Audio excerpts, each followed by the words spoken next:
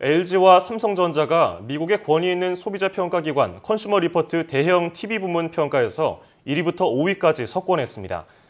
LG는 지난 8월 출시한 55인치 올레드 TV가 총점 80점으로 1위, 올해 초에 출시한 울트라 올레드가 2위, 삼성은 UHD TV 두 모델이 3, 4위에 오르는 등 두 업체 제품이 5위까지를 차지했습니다.